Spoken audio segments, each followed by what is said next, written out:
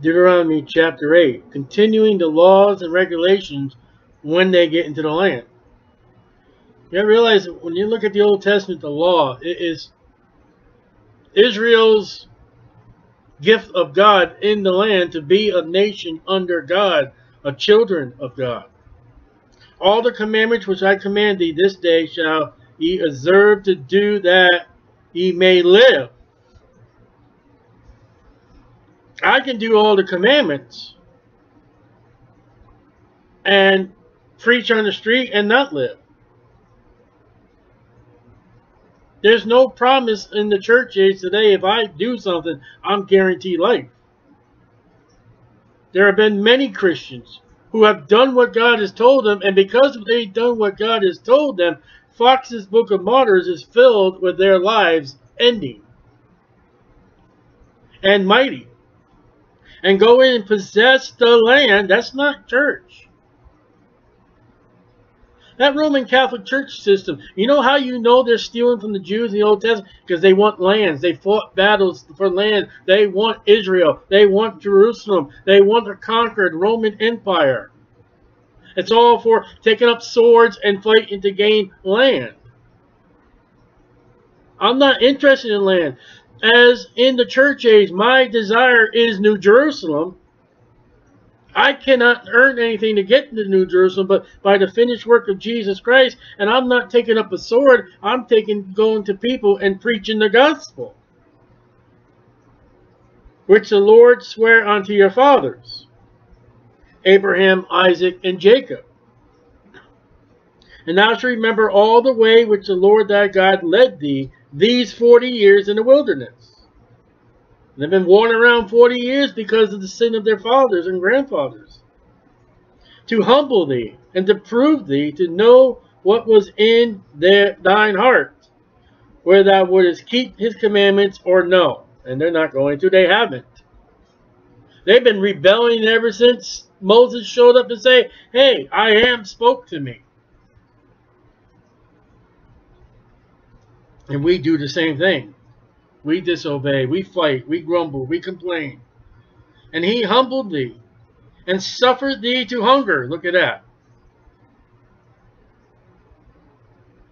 God caused them to hunger. God caused them to go without food. God wants them not to have food so he can see what are you going to do? Who are you going to rely on? Me or and fed thee with manna which thou knowest not. Manna means, what is it? No one knew what manna was. Neither did thy fathers know. All they know is it showed up in the morning. They had to gather it by a certain rate. And it, when sun came up, it waxed. Nothing. During the during the regular times, you, you gathered so much. For the Sabbath, the day before the Sabbath, it was able to be gathered twice as much. And if you did uh, take up extra. It bred worms and it stank, but it did not breed worms and stank on the Sabbath day. That's some weird kind of bread. Now watch this.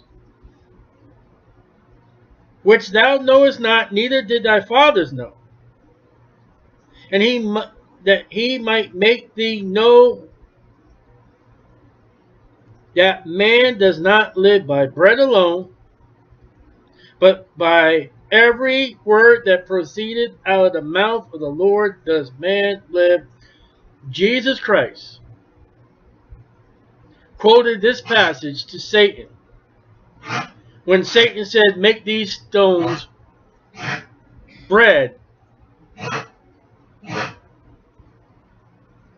Uh, I'm trying to think right now. So let's go see what the Bible says in Matthew 4 4.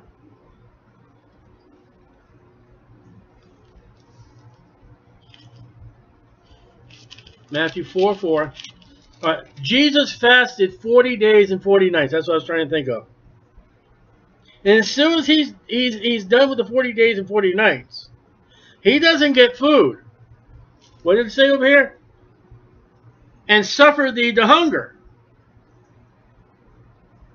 And at the end of Jesus' hunger, Stu had not had a meal, Satan pops up and says, well, hey, verse 3, and when the tempter, which is Satan, came to him and said, If thou be the Son of God, he is, command these stones to be made bread.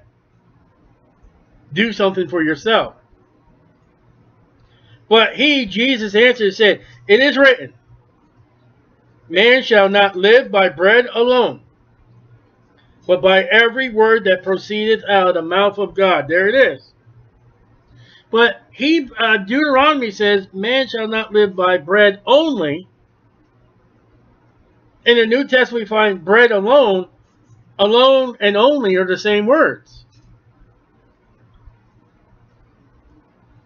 Let's go to Luke 4 4. And this temptation only occurs twice in the Bible.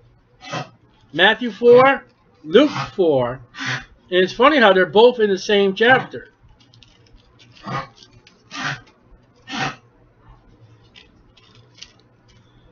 And Matthew 4, I mean Luke 4 4, same chapter, same verse. Jesus answered him saying, It is written. Deuteronomy 8, verse 3, that man shall not live by bread alone, but by every word of God. That's three times it's written. Three times. And when you see it written three times, it's important. Now, Matthew records Jesus Christ as king of the Jews, not church. Luke records Jesus Christ as the Son of Man. Both those Gospels have the genealogy. Mark and John don't. A genealogy of a man. The man Christ Jesus. And when we come back to Deuteronomy 8, it's important to, to see that God suffered thee to hunger. And yet when we go to the Gospels, we read that Jesus suffered of no food for 40 days and 40 nights. So now Israel did not suffer 40 days without food. God took care of them right away. So you know what that match is? When Jesus quotes Satan to say, you guys went without food, but listen, I went 40 days and 40... I don't think a man can survive without food for 40 days and 40 nights. Well, I'm talking about the normal man. I know Moses did. Probably Elijah too. But a normal man.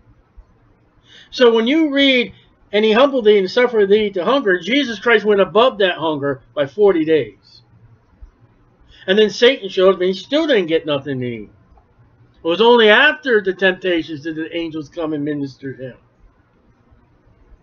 And fed thee with the manna, Jesus said in John 6, that's him, the bread of God, that came from heaven.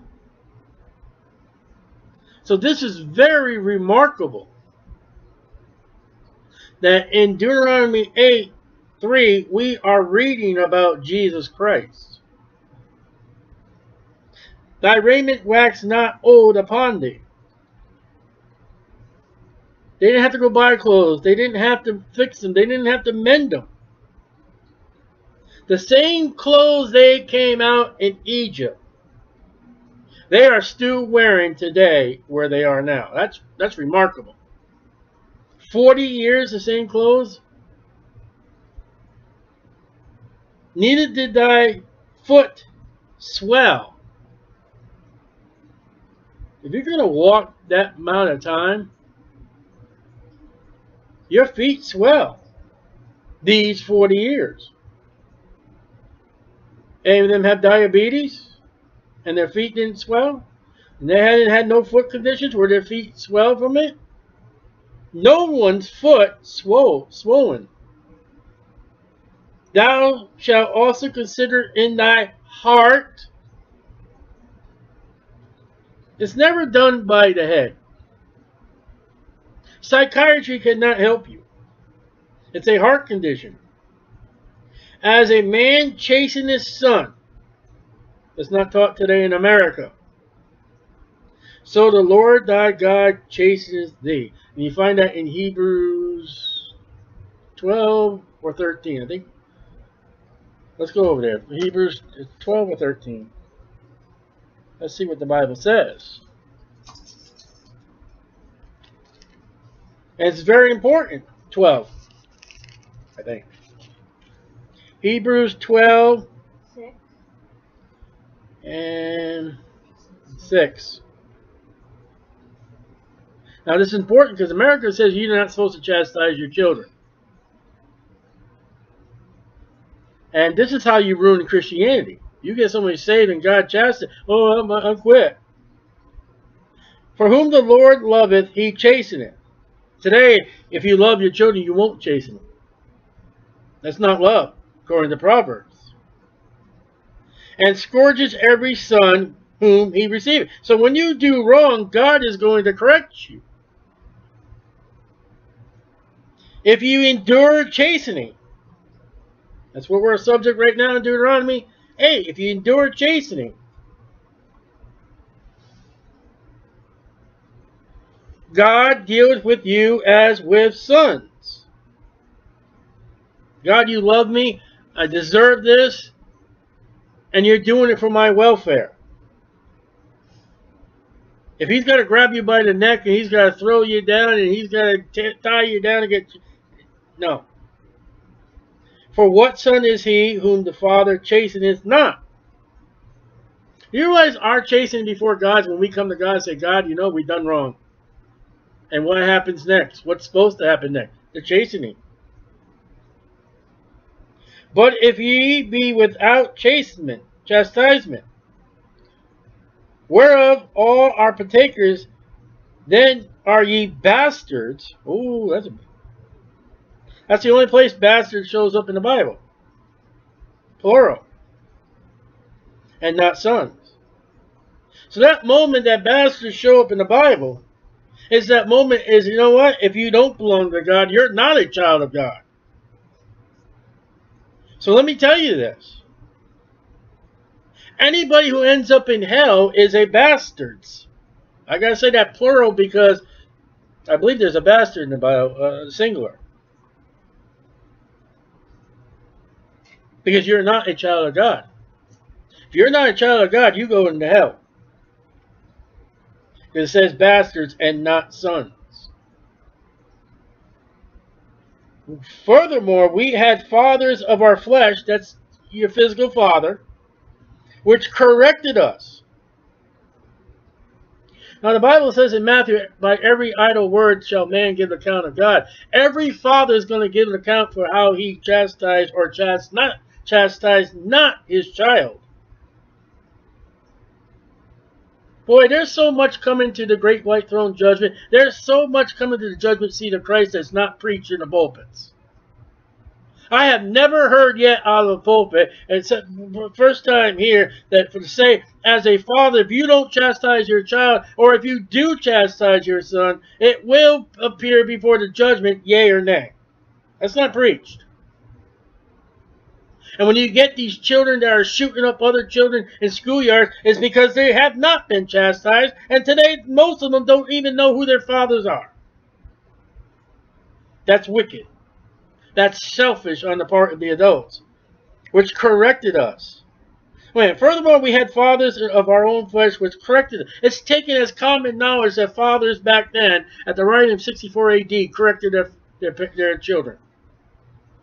And we gave them reverence. So we didn't get chastised again. Shall we not much rather be in subjection unto the Father, capital F, of spirits, and live? When God does chastise us because of our sin, we ought to look to the Father and say, You love us. For they verily for a few days chastise us after their own pleasure. Sometimes the father will do it wrong because you know what? You embarrassed me in front of the people. You made me look bad. You ruined our family name. But he, for our profit, God, that we might be partakers of his holiness.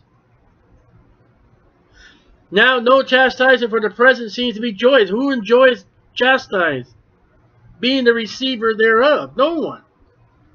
But grievous. But nevertheless, afterwards it yielded the peaceable fruit of righteousness unto them which are exercised thereby. So chastisement helps. Chastisement gets you in the will of God. It pleases God that we say, you know, Father, it hurts. I do not appreciate what chastisement does as far as the beating, but it's for my welfare. It's for me to improve. And he says in, in Deuteronomy 8,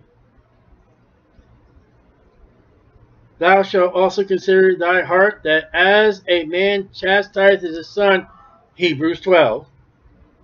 So Hebrews 12 quoted from Deuteronomy 8. So the Lord thy God chasteneth thee, Hebrews 8. There it is. Chastisement is a Bible doctrine. Hebrews 12, 6. What are you going to do with that? What are you going to do to the child welfare organizations of America where they say, Florida says we can do it. But there are states that absolutely violate the Bible. This nation under God, God bless America, one nation under God. And God says, you take that child and chastise chastisement. If you don't, you got the troubles you got today. And it's only going to get worse. Used to be able to have teachers chastise the children in the schoolroom. I guarantee they didn't pull the junk they do today. We read, we heard people tell us testimonies of their children being teachers, being beat up in the schools, having a fight in the schoolroom, and the teacher tries to break up the fight, and the teacher got in trouble. Well, listen, if you're not going to stand for the teacher, then don't expect the teacher to make a stand.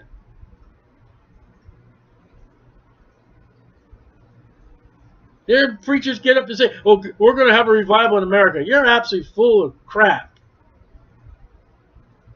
There is no reverence to authority in this country, so there will be no reverence to God. Hebrews 11, uh, 12 said, if our father corrected us, we gave him reverence. There's no reverence of the fathers today. My dad is unsaved, and I still fear him. Verse number 6. Therefore thou shalt keep the commandments of the Lord thy God to walk in his ways and to fear him. If not, what happens? Chastisement. For the Lord thy God bringeth thee into a good land. It's a good land. Now watch this. Seven lands here. First of all, it's a good land.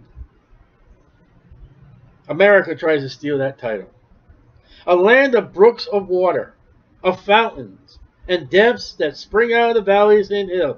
Nice fresh water. A land of wheat and barley and vines and fig trees and pomegranates. A land of fruits and vegetables and grains. Now notice it says a good land, a land of water and a land of food. You need water first before you die without food. You can live longer without food than you can live without water. And those are waters first and then the food. That's interesting. Okay? So there's your vegetation. There's your crops. And oil and land of oil, olive, and honey. That oil there of the olive was used for anointing the priests, the kings. It was used for your, your skin. It was used for cooking. And honey is your natural sweetener. I would probably assume that honey is more healthier because it's in the Bible than sugar, and you can't find sugar in the Bible. But you can find it in the churches out of the pulpits. There are diabetic churches today. A land whether thou shalt eat bread without scarceness, thou shalt lack thou shalt not lack anything in it. So it's a land that's completely provisional of substance. A land whose stones are iron, and out of whose hills thou mayest dig brass. It's a land with natural ore resources. This is a good land. When thou hast eaten and art full, Then thou shalt bless the Lord thy God for the good land. Closed it up with a good land. Look, from good land to good land. Look at it's all in that land. Which he has given thee. And they're not even in the land. And Moses says, God's given it to you. You're not there yet, but it's yours. There's no excuse in the book of Joshua why they didn't get it all. Except they gave up. Now we're going to look at the word forget. Beware that thou forget not the Lord thy God. So you, you see, you are capable as a child of God, Israel was, and as a Christian, you are capable of forgetting God. There it is. Why would that warning be there if it was not? Oh, I'm saved. I'm always going to remember God. Really? You haven't read Christian Facebook posts, haven't you? You haven't read their walls, have you? Not the not the Lord thy God. Forget not the Lord thy God. And not keeping his commandments. Uh-oh. And his judgments. And his statutes. Which I command thee this day. Read Jeremiah. Jeremiah, they forgot God. They went after every god, after every goddess, and the moon, the stars, and everything. In Jeremiah's time, you can almost say he got a half a convent. And the book of Jeremiah ends with lamentations that the city of Judah was taken by Babylon, destroyed. Why? They forgot God. Listen, there was a time in America the Methodists and all that, they were great preaching hellfire in churches. The Methodist Church early in America and all that, they were right with God. They forgot God. They went in with the world. Uh, William and Claire Booth, they had a right heart with God. They started off right with God. And the Salvation Army today, look where they are. They forgot God. At least when thou hast eaten and art full, and has built goodly houses and dwelt. Now see, materialism. A materialism will make you forget God and thank your checkbook, your job, your occupation. As we seen the other day in a commercial.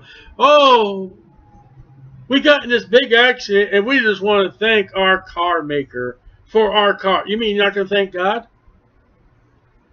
You're not going to give the God the glory that you came walking out of an accident? You know, that money you soak into the car. Has built goodly houses and dwelt therein when thy herds and thy flocks multiply. What makes flocks and herds multiply? God. And thy silver and thy gold is multiplied, your bank accounts. And all that thou hast is multiplied by God. Then thy heart be lifted up, America, pride, and thou forget the Lord thy God. You see what pride does? Pride will make you forget God. Did you see that? There's another for you. You can forget God because of materialism. And you can forget God because you forgot his commandments, his testaments. His, he said, well, what about the Christian? You forget about reading your Bible. You forget about praying. You forget about serving God. You forget about hearing about the Bible being preached. And then the next step is when you start getting the materialism, which brought thee forth out of the land of Egypt. You forgot your Bethel. Now, Bethel for Jacob was where he met God, and God spoke to him, and God gave him promise, and they got right with each other there.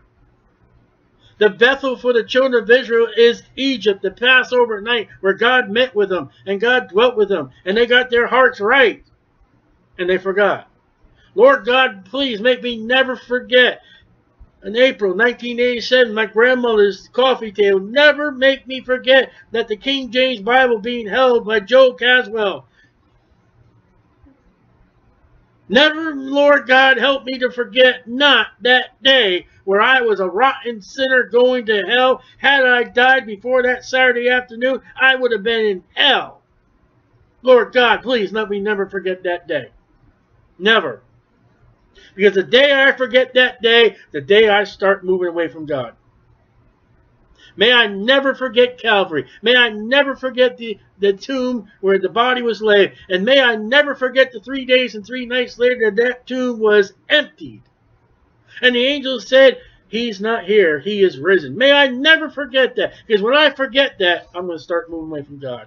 And Satan will be there with materialism. He'll show up and say, Yeah, why don't you just turn these stones into bread?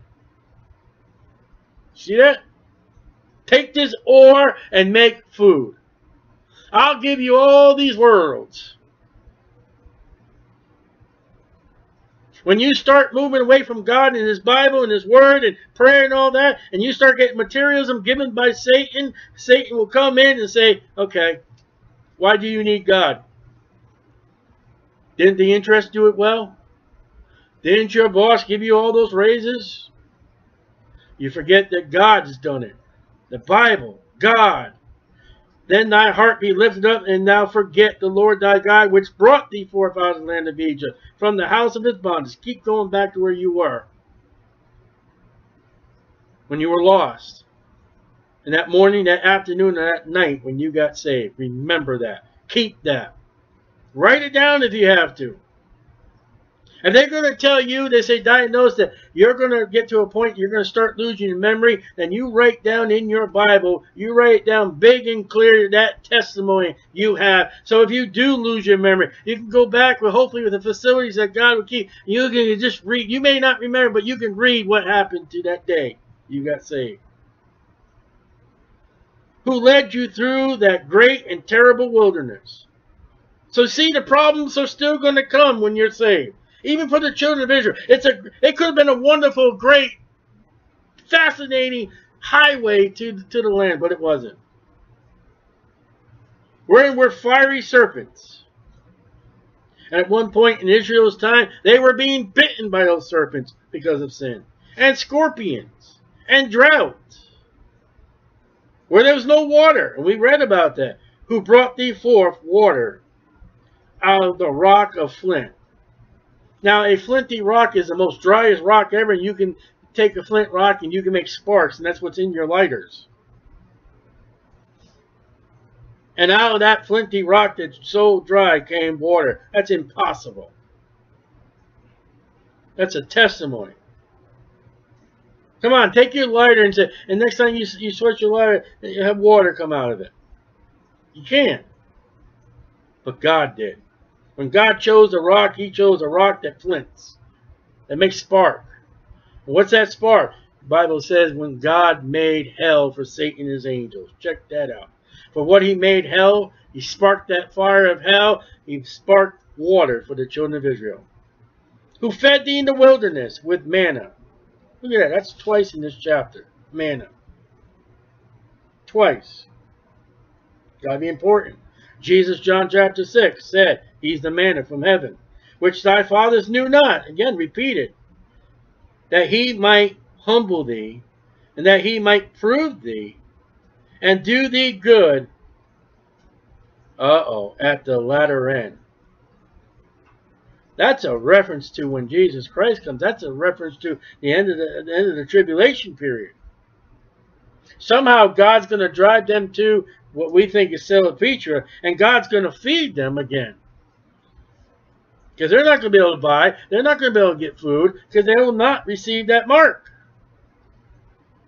And thou shalt say in thy heart, My power and the might of my hand have I gotten me this this wealth. That's that's America. And yet that's that's Judah. That's the time of Jeremiah. That's the time of the kings. Look how great we are. But thou shalt remember the Lord thy God, and it is he that giveth thee power to get wealth, that he may establish his covenant which he sware unto thy fathers, as it is this day. And thou shalt be, if thou do, wait it shall be, if thou do at all forget the Lord thy God. So see, it's possible. And walk after other gods. And serve them. So when you forget God now, you forget God because you leave God by the word, by prayer. You forget God because of materialism. And now when you forget God, you're going to go after other gods and you're going to serve them and worship them. You say, well, I'm, i know somebody's out of, it doesn't have to be church. They can serve their employer.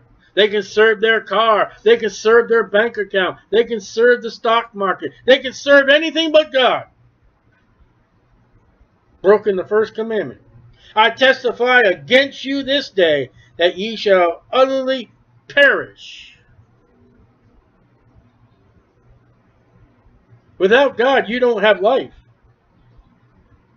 For God so loved the world that he gave his only begotten Son, that whosoever believes in him should not perish, but have everlasting life. If you don't believe in God, you do not trust in his ways, you will perish.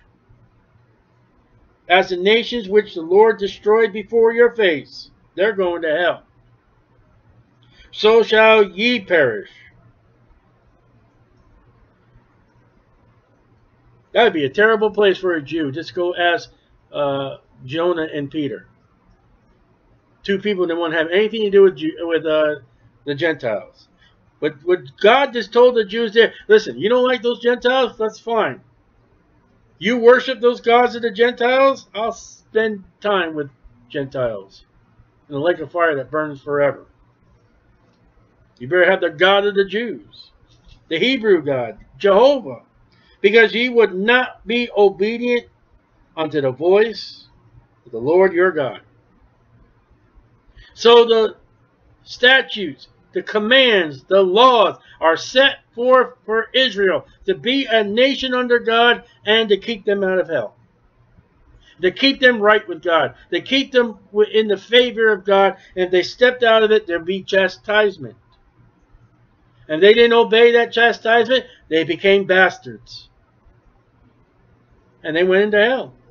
Bastards are in hell. It's the truth. And God so loved the world that you don't have to be a bastard.